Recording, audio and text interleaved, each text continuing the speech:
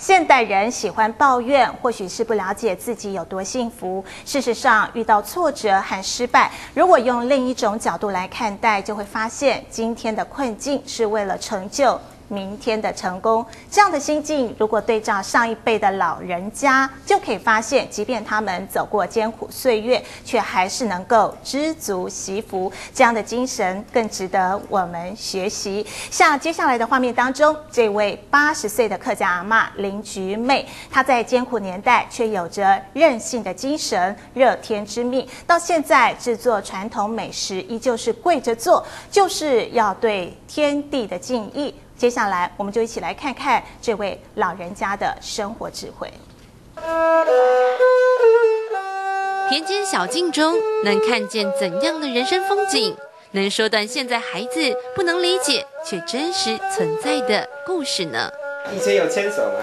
没有，以前中间有放一盆花。现在放一盆花。哎，小时候读书很难哦。哎呀，没有像你们好好出身那么好。我小媳妇四十天就卖在刘家来。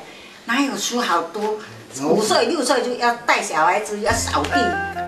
出生四十天就变成别人家的媳妇儿，留下这张照片前和当时的小丈夫形同陌路。没有讲过话，结婚之前都没讲过话。没有啊？童养媳往往是因为家里穷，不得已只好送小孩或卖小孩的年代。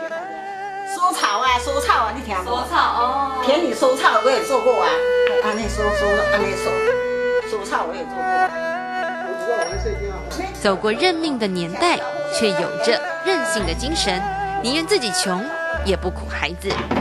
我们没有读书那么可怜呐，哦，小孩子要读就要不给他读啊，女孩子又不舍不得卖啊。像我们小小的人卖这边那么那么做人的小媳妇那么可怜呐。有能力娶童养媳，却也当过小童工。九岁、十岁的时候就在台北的米粉工厂做。八十岁的老人家五体投地，展现对食物的敬意，起因于听妈妈的话。就是母亲喜欢的咖喱来做，我母亲很慈悲，那我都要去报报后悔。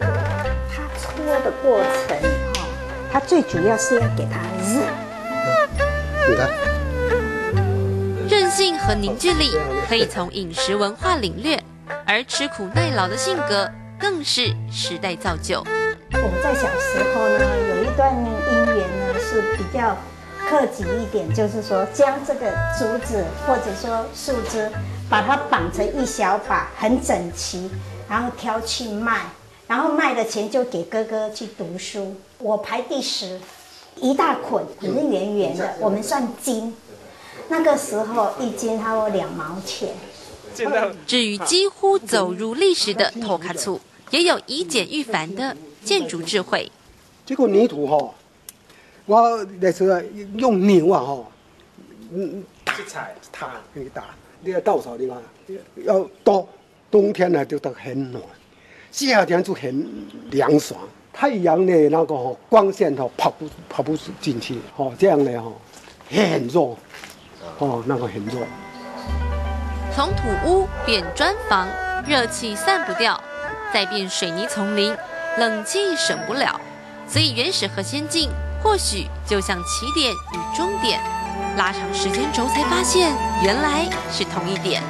也因此，无论时代如何变，不忘本这一点不能变。逃难哈，连祖宗牌就背着的。跑，不忘本，去到那里就篮子吊起来，这是老祖先。家兴邦德康，就这样传下来。对，这样的。我是第几代？我是家家世贵。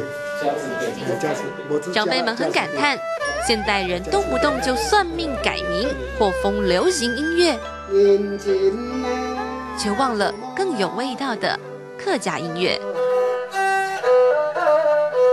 以前没文字，靠山歌说故事；现代子孙没人学二胡，真怕有一天故事还没说完，历史印记说断就断。